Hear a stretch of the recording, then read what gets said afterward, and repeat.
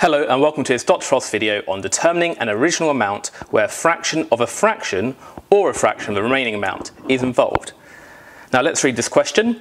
After I drank one seventh of my water and then drank a sixth of what was left, I had 30 millilitres remaining. How much water did I start with? Now there's two ways to do this. We could work backwards from the 30 millilitres and say that, well, if we drank a sixth of what's remaining, we'd have five sixths of the drink left.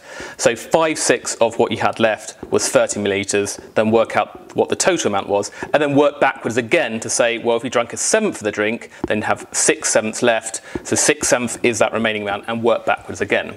But I'm gonna do it all in one go. I'm gonna just think what fraction we have remaining at each point.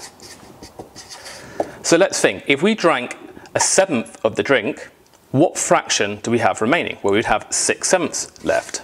So we have six sevenths of our drink left.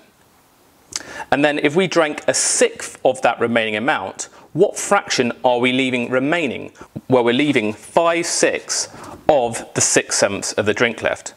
So we're drinking some drink to leave six sevenths left, because we drank a seventh of it, and then we're leaving five sixths of that six sevenths. It's focusing on what we have remaining each time.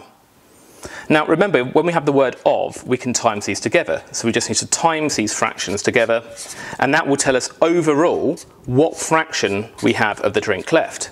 Well, 5 times 6 is 30, 6 times 7 is 42. We just multiply the numerators, multiply the denominators, and then we can simplify that. So we could divide these both by 6, so that gives you 5 over 7. So we have 5 sevenths of the drink left. By the way, I could have cross-cancelled here because look, can you see the 6 and the 6? They cross-cancel, leaving 5 sevenths. We know we have 5 sevenths left. So there's 5 sevenths overall of the drink remaining. Now we can do what we usually do when we have reverse fractions of amount. We're saying that 30 millilitres that we had left overall is 5 sevenths of the drink. So 5 sevenths of the drink is equal to 30 millilitres.